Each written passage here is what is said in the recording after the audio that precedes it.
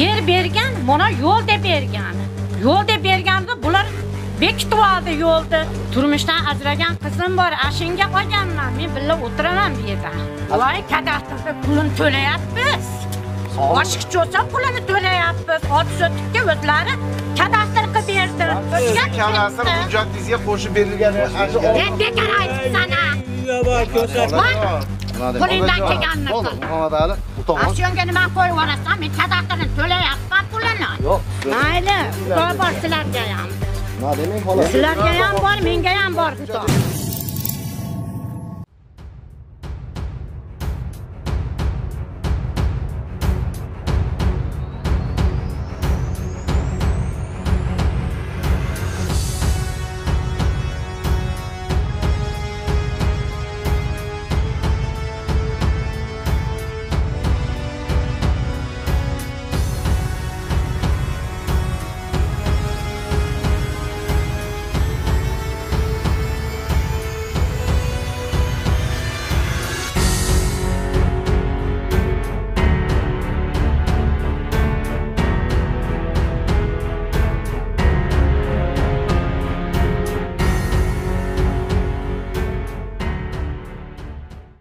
men oila maludaxonman izbaskan tuman paytix shahrida yashayman.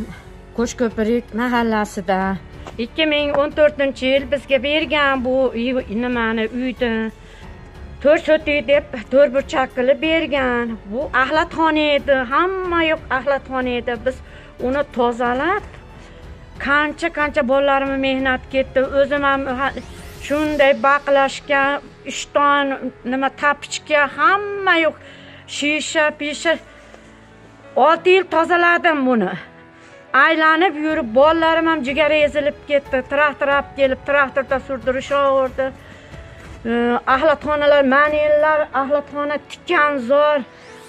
Atirgulni nimasi deydi?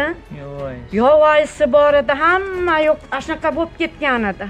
Ularni tozalab talhalar chiqib ketgan mana shu uylarimda ham hamma yoqda talha edi. Mana shu yo'llarni ham tozalab yig'ishtirib bo'lganimizdan keyin endi ko'ziga ko'rinib bu yo'l. Berib endi men buni bitta qizimga olgan edim. Ash kelib o'tiradi deb. Hozir kelgan yo'q u bola rossiyadan. Qachon keladi qachon yo'q? Mana o'n yil bo'lyapti ketganiga. O'nta kadastr keldi. Mana shu yerda bermayman. Bu yo'l deb ana siznikini kimosh savdosiga qo'yib yuboramiz dedi. Dedi men qo'rqdim. Ikkitasi keldi ikkitadan keyin to'rtta keldi dup dup mashinada kelishaverdi aylanib. Kelishib kelishib o'nta bo'ldi. Bularni ham nima desa deyishdi. Ayanga palon qilmaysanmi ayanga piston qilishmaysanmi deb ikkala o'g'lim ham bor edi. Men bu yo'l dedim. Bir kuni mana yo'l chiqadi. Betga uy uy solinmaydiyu endi axlatxonani biz tozalab qo'ysak dedim ko'zga ko'rinib qoldimi bet? desam siznikini kimosh savdosiga qo'yib yuboramiz? Bu palon piston. De meni qo'rqitishdi haqiqatdan ham men nima qildim? Meni aytganimni qilishmadi. Mana shu yerdan manday qilib hozir manday qilib manigaday dedi. To'sasiz dedi. Endi meniki mana eshigim mana shu yerda to'siqlik qolib ketar ekan manda yuraverar ekanman. Dedi do'ddan keyin men aytdimki yo'q dedim meni yo'limni ochib qo'yinglar dedim. Zo'r yuragim yomon bo'lib qoldi g'alati bo'ldim. Endi nima qildim? Endi qarang. Ikki yuz ming pul so'rovdi alisher degan familiyasini nima aytib ber? Alisher degan besh yuz ming pul so'rayapti 200 ming pulni men olib bordim. Olib borsam ha sizni dedi xola dedi duo qilib ishlatamiz deb olib qoldi ikki yuz ming pul. Olib qolib meni olti yu yetti ot sotuvi yetmishga qilish bergan o'zi atlar nimaga? Ishlab chiqarishga. Qilib bergan shuni noqonuniy deb eksotidan oshig'ini mana qilib menga kadastr qilib berdi.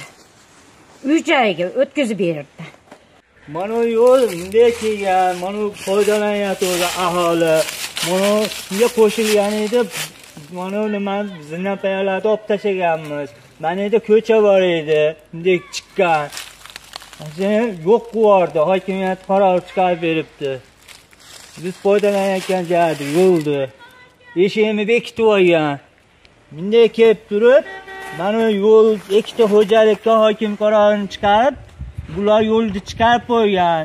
Mana shu yo'lni ochib berishinglarni so'rayman. Mana u yo'lga ko'prik tashlab bermayman deyapti. Ana deb nima qilyapti? Hamma yoqqa yozdik, hokimiyatga, prokuraturaga hamma yoqqa yozdik. Bizni nimamizni chiqarib bermayapti. Men qambarov Bahodir 2015-yildan beri Izboskan tuman kadastrlar palatasida ish yurgizib kelaman. 2019-yil Izboskan tuman kadastrlar palatasida rahbar etib saylanganman. Bu Dilnoza familiyasini to'liq bilmayman. Bu yer Solieva, Solieva Dilnozaga turmush o'rtog'i yo'qligi uchun, boquvchisi yo'qligi uchun tuman hokimining qarori bilan birgalikda taqdim qilingan bu yer. Qarorni siz nima bo'ladigan bo'lsangiz, qaror loyihasini taqdim qilishimiz ham mumkin sizga. Kadastrda ishlab yurgan paytimda bu yerda ana shu Dilnoza, Solieva Dilnoza degan fuqaroyimizga tuman hokimini uy joyga muhtoj bu, bu Solieva Dilnozani to'liq o'rganib chiqib turib hokimiyat, hokimiyatni yurisi, hammasi unda unda u davrda men hokimiyat tizimida ishlamasdim. 2021-yil 1-fevraldan boshlab hokimiyatda mana qurilish bo'yicha o'rinbosarman. Bu yerda men azaldan qanday tartibda bo'lgan, qanday tartibda bu Solieva Dilnozaga o'tganini bilaman. Buni hokimiyatimiz to'liq o'rganib chiqqan, hokimiyatning yuristlari o'rganib chiqib, haqiqatdan uy joyga muhtojligini ko'rib chiqib turib, tuman hokimining qarori bilan qonuniy ravishda berilgan bu yer. Bu yerdan hech qanaqa yo'l rejalashtirilmagan kelajakda ham. Yer bergan, mana yo'l deb bergan. Yo'l deb berganda bular bekitib oldi yo'lni. Keyinchalik ochib beraman deb Sizni yo'lingiz nima mana turibdi qilishdi? xolos. Sizni yo'lingiz mana sizga. Mana shunday ochib berasizlar, bitta men yashamayman bu yerda. Kim ya- bitta shuncha odam. Nechta odam kuylan. Men hozir keldingiz, ha?